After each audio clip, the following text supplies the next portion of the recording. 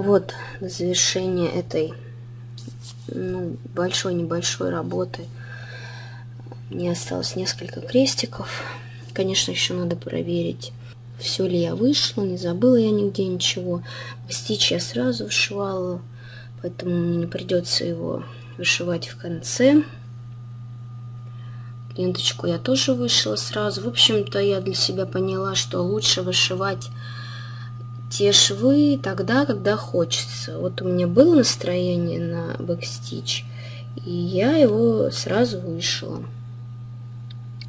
А, как только работа переходит в стадию уже скоро конец, почему-то вышивать ее становится все сложнее и сложнее, потому что она висит как домоклов меч примерно. Вот. Эм, что я могу сказать? Работа для меня была сложной, потому что я не зачеркивала схему, из-за этого мне приходилось долго искать, в каком месте схемы я нахожусь сейчас. А зачеркивать ее я не могла, потому что э, у меня был такой опыт, когда я эм, зачеркивала, потом находила ошибку, а вернуться уже не могла, потому что схема зарисована. Конечно, можно было бы отсканировать ее или там сфотографировать, чтобы потом посмотреть. Ну, не знаю, что-то меня останавливало. Э, наверное, мое какое-то желание не портить оригинальную схему. Э, я долго думала, как оформить эту работу. И зная свою любовь к подушкам, я думаю, что это будет подушка, но не в ближайшее время точно. А в ближайшее время, ну, я хочу продолжить свою работу за зеркалье, но во время последней встречи с девочками мне очень понравилось, э, понравился другой венок от Риолис, э, осенний там, где пшеница, по-моему. И я решила во что бы то ни стало найти такую. И мне даже предложили остатки набора отдать.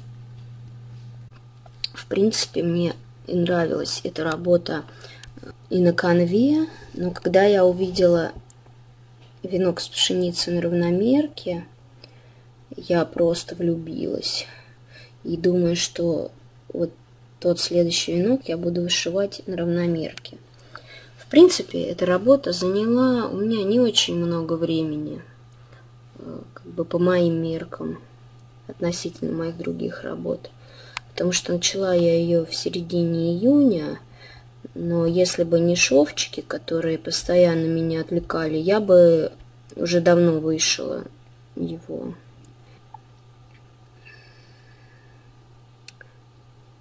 Сейчас я заболела, поэтому у меня голос такой грустный, наверное. А еще свою, я, наверное, помешана на подушках, еще свою работу с шовчиками «Радуга» я тоже вышила, и надо бы вам показать. Но там еще не вышит бисер, поэтому я, наверное, еще не буду показывать. Для бисера тоже нужно особое настроение. Ну, в общем-то, я должна еще рассказать о том, почему я выбрала именно этот венок в первую очередь. Потому что здесь есть шмель. Да-да. Этот шмель, он какой-то волшебный. Его притягивает взгляд. Он как изюминка в булочке. Такой живой очень. Кстати, бэкстич на нем вышит э, зелеными нитками, темно-зелеными, а не черными. И вот издалека это смотрится как черное, но я-то знаю, очень классно. Такой он живой. В общем-то, вот так все это выглядит.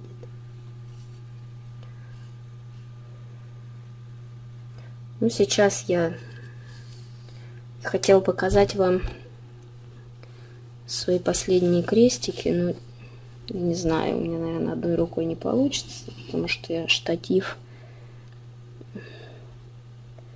куда-то. Ну, в общем-то, вот, тогда кажется, кажется, это последние. А, нет, еще вот тут рядочек. В общем-то, вышивать эту работу было не скучно, потому что здесь много ярких цветов, как я люблю. Вышивала я с органайзером Паку. Я не помню, показывала или нет.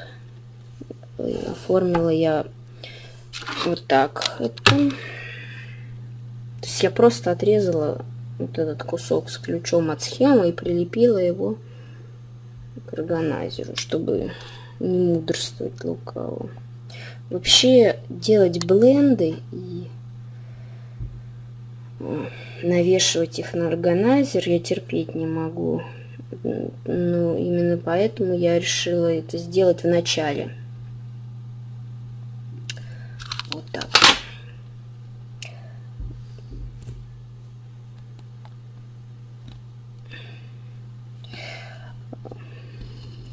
Про работу рассказала. Чем я сейчас занимаюсь?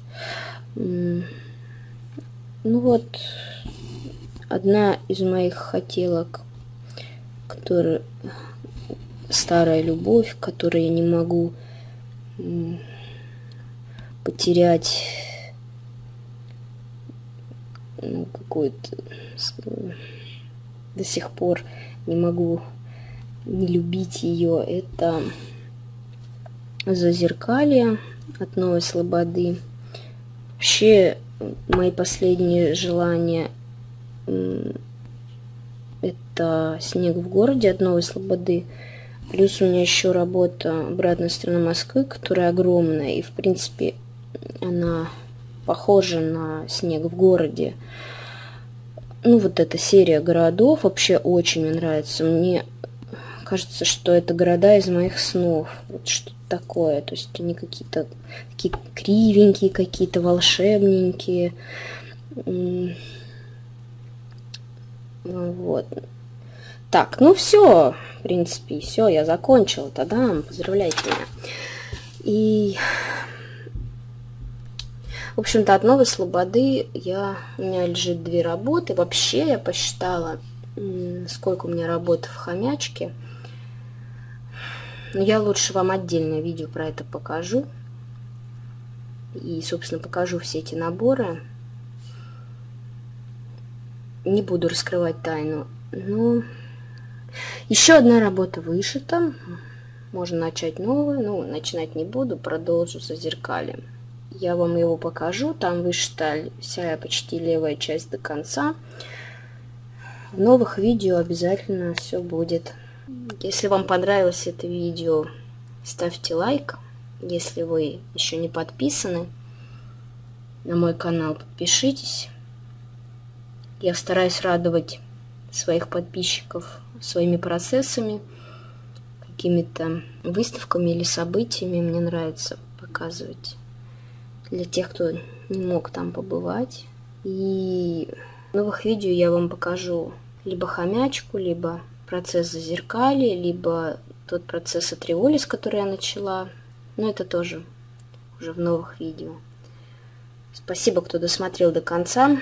Если что не так, обижайтесь. Пишите лучше комментарии, если что не так. Я исправлюсь. Ну все, пока. А это уже постиранная работа.